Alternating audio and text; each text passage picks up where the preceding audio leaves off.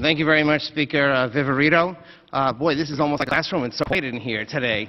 Uh, it's great to be here, and for me, this is a day of uh, personal significance in the sense that uh, having, having been a New York City public school teacher, a UFT chapter leader for 25 years, and to now sit as the chair of the Education Committee uh, is very personally important to me. And I want to thank Speaker Viverito for giving me that opportunity. And I also want to state how wonderful it is to have a chancellor under whom I worked at one time uh, as an educator, and also want to say welcome to you for being with us today. Thank you very, very much. So good afternoon, everyone. I'm Councilmember Danny Dromm, and I'm the chair of the Education Committee, if I didn't tell you that before. First, I'd like to thank Speaker Mark Viverito for sponsoring this resolution and for her leadership on this very important issue. Uh, thank you to my co-chair, Councilmember Laurie Cumbo, the new chair of the Women's Issues Committee, and thank you to all of you for coming out to participate today. Today's hearing on resolution number two, which is a resolution that supports the city's plan to establish high-quality universal pre-kindergarten for all eligible four-year-olds and a high-quality after-school program for middle school-aged youth, is a very important step towards improving the lives of children in this city. As many of you know, I was an educator for 25 years. Additionally, I was the director of a daycare center. I've been in the front lines and have seen firsthand the tangible proof that quality early childhood education enhances the life of a child. In addition, the benefits of early childhood education have been established repeatedly through research.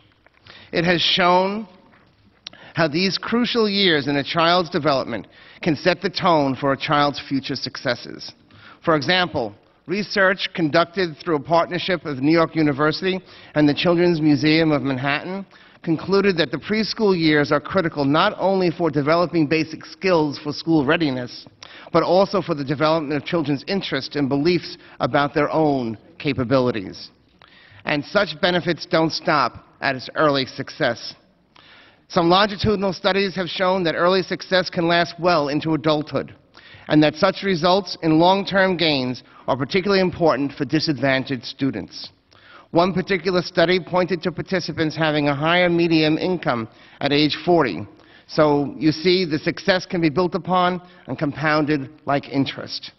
Unfortunately, high-quality, full-day early childhood education is frequently out of reach for many because it is often hard to find and it is exorbitant in cost. While the city does already offer UPK, it is often unavailable for full day and sometimes overcrowded.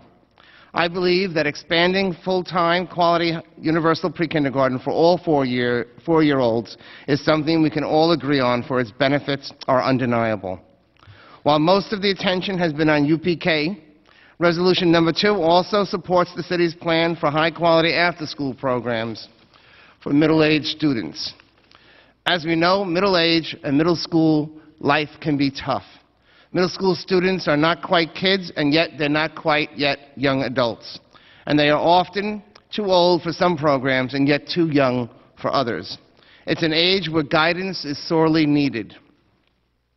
Unfortunately, over the past several years, New York City after-school programs have been dramatically cut.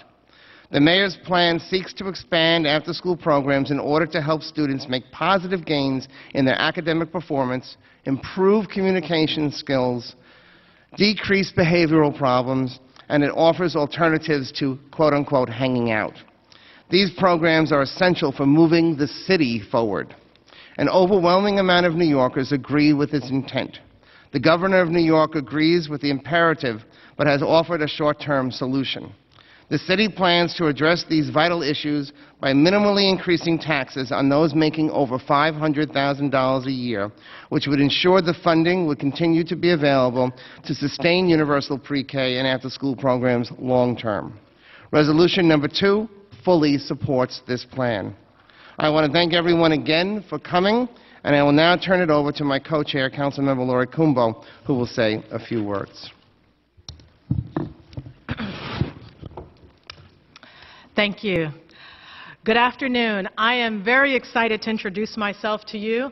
I am Council Member Laurie Cumbo, and I am thrilled and honored to be the chair of the Women's Issues Committee at this incredible time in history.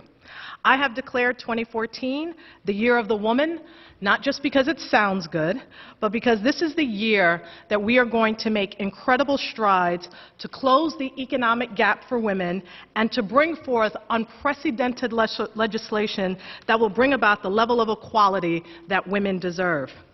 First, I'd like to thank my co-chair, Councilmember Danny Dromm, and members of the Education Committee, many of whom began their professional careers as teachers, principals, and educators, and I'd like to acknowledge them. Councilmembers Barron, Rodriguez, Levine, Dromm, Treyger, Cabrera, and even my very own science teacher from IS-11, uh, Mr. Maisel. So it shows what a great quality collaborators we have here today. And these are members that have given their lives to education, and I'm so very proud to work with each and every one of them. I also want to thank Councilmember Ben Kallos, who is the only member, male member of the Women's Issues Committee, right? Special recognition to him, and it was to this joint And I think that that is so profound because he shares my theology issue, our women's issues, and you'll be seeing many more joint hearings because we are going to have a very powerful voice in moving this city forward. And of course, a year of the woman would not be complete without having our speaker, Melissa Mark Viverito, for sponsoring this resolution, as well as for her leadership on this issue and for recognizing that every issue is a women's issue. Okay, thank you. Uh, Councilmember Kallos, followed by Councilmember King. Uh, Thank you, Chairs Dromm and uh, Cumbo, and especially my chair, the Women's Issues Committee Chair, uh, Cumbo, because without her, all the members of the Women's Issues Committee would not be here. I also want to make sure I acknowledge a a special person in the audience, Raglan George, the Executive Director of DC 1707.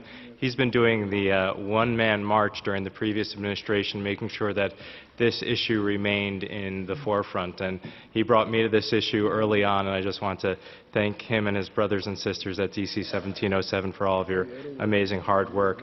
I want to thank the uh, Chancellor and the Deputy Mayor for uh, coming before us. I, I know this is new and we appreciate it. I'm a public school graduate. I uh, spent a lot of time in after schools every day if possible, and that's what kept me out of enough trouble to get to sit here.